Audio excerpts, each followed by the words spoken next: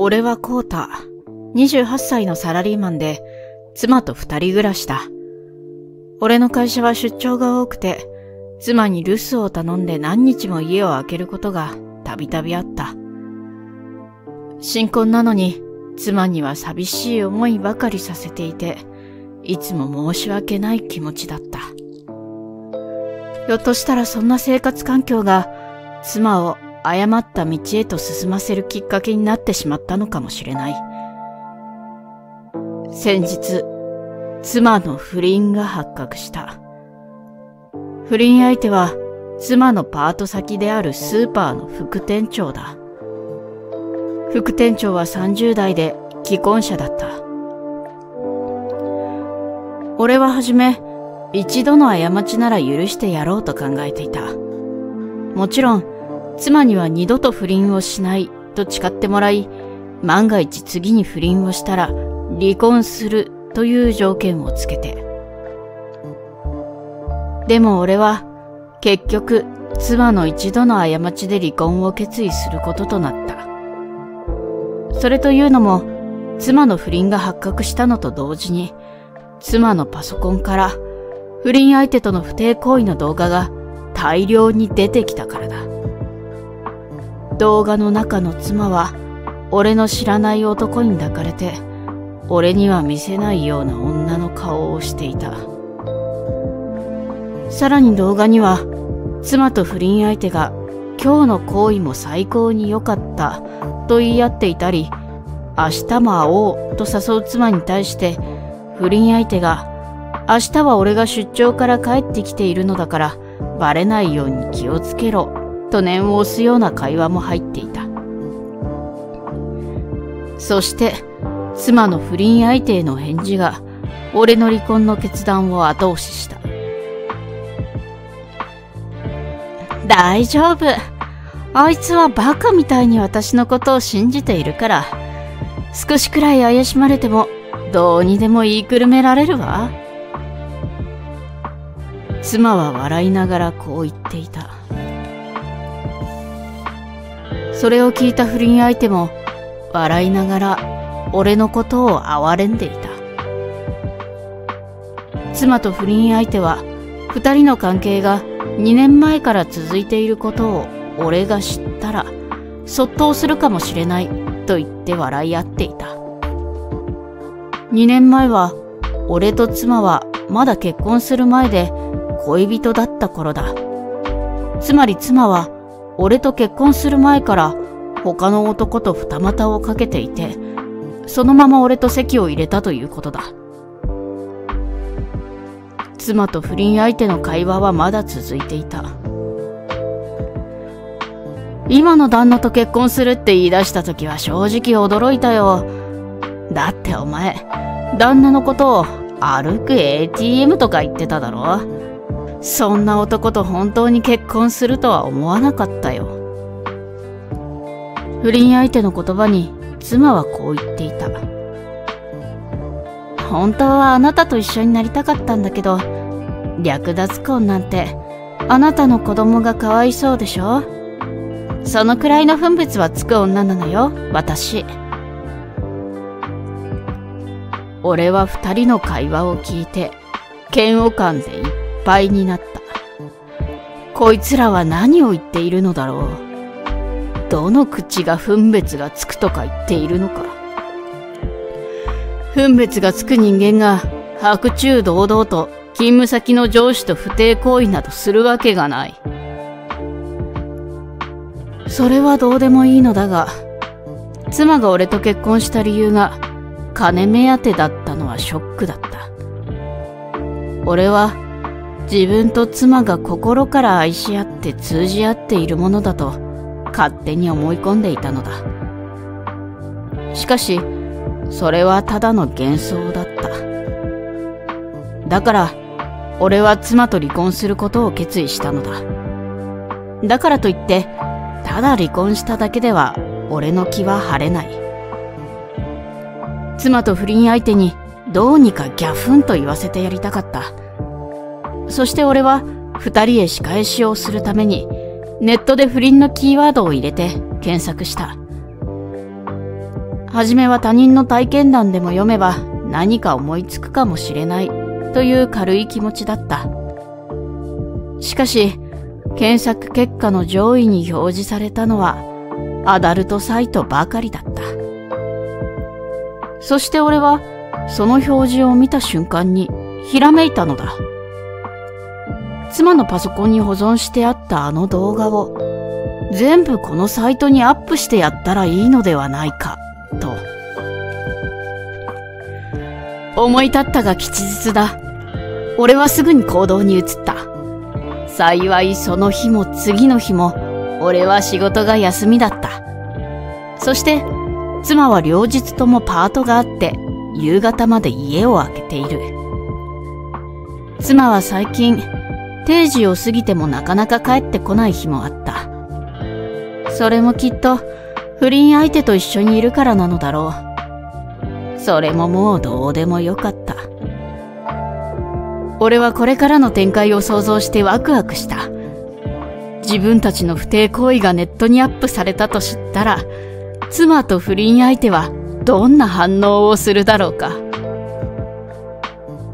俺は妻のパソコンに保存されていた20本もの不貞行為の動画をすべて有名なアダルトサイトにアップロードしてやった。もちろん修正や加工は一切していない。あんな姿やこんな姿も全部世界中の人に見てもらえばいいのだ。とはいえ俺から、お前が不貞行為をしている動画をネットにアップしておいてやったぞ、と声をかけるつもりはないから、動画がアップされていることにいつ気がつくかは、妻と不倫男次第だ。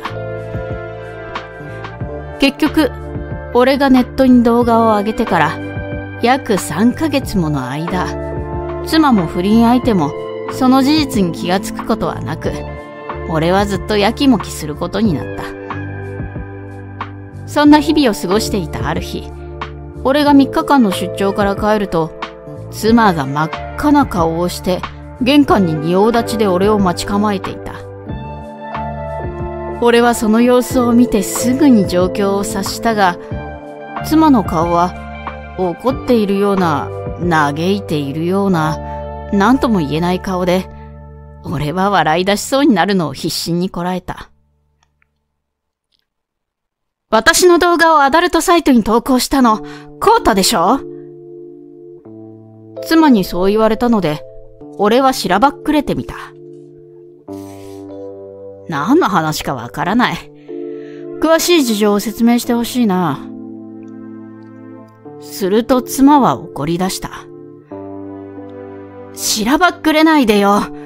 あの動画は私のパソコンに保存されているものしかないのよ。それをアップできるのはコータしかいないでしょ？俺はあれとかこれとか言われても抽象的でわからないからその動画の内容を教えろと言ってみた。そんなにやばい内容の動画だったのかと問い詰めると妻の顔は怒りで真っ赤になっていった。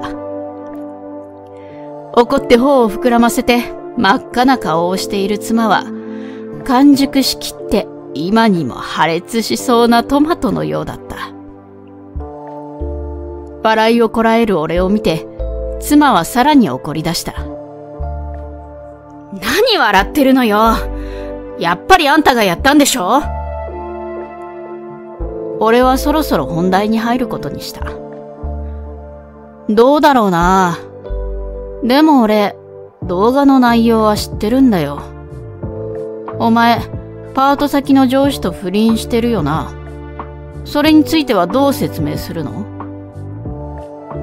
しかし妻は、今はそんなことはどうでもいいと言って自分のことを棚に上げ、なぜ動画をアップするようなひどいことをしたのだ？と俺を責め立てた。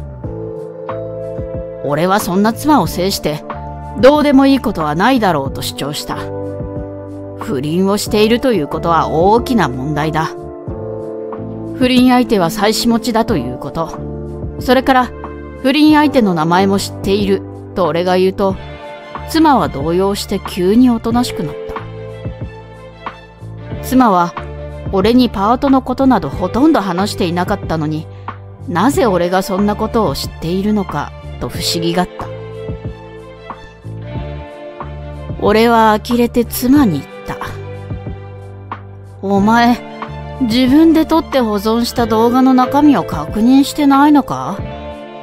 動画の中で、お前は何回も不倫相手の名前を呼んでいたし、相手もお前の名前を呼んでたぞ。その動画がネットに上がっているということがどういうことかわかるよな。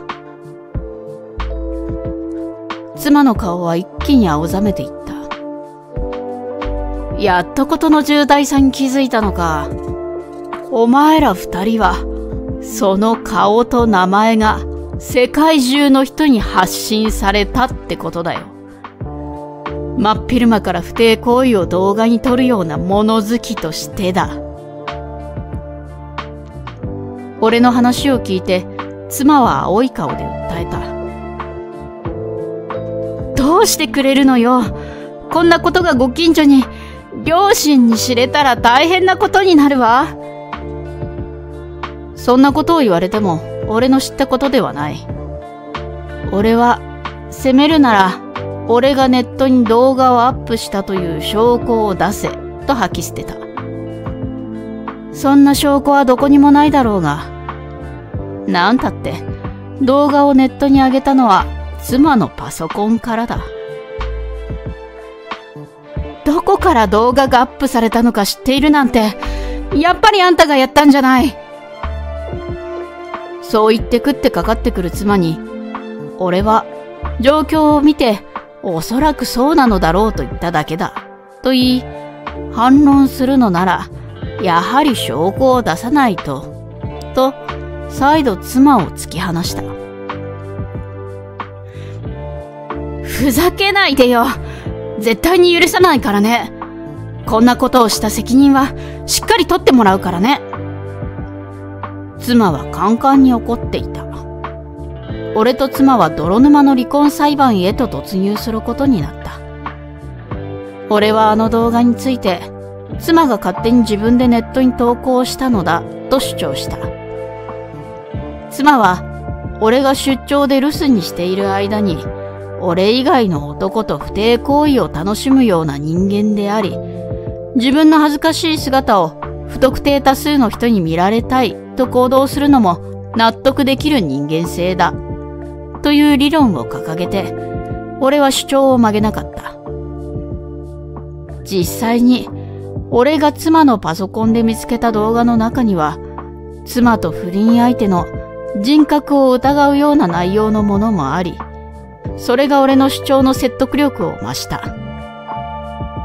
何よりも妻は、俺の罪を立証できず、ネットのサイトに動画を投稿したのが、妻ではない、と確信を持って否定できなかったようだ。妻は一度、俺が動画を投稿した時間を確認して、投稿した人間を突き止めようとしたらしいのだが、投稿された時間は、すべて妻が自宅にいるはずの時間だった。つまり、動画を投稿したのが妻ではないと言い切ってしまうと、妻はその時間、不倫相手と一緒にいたと自白してしまうことになるのだ。こうして俺たち夫婦の離婚裁判は、妻の有責が認められて、無事に離婚という形で終わった。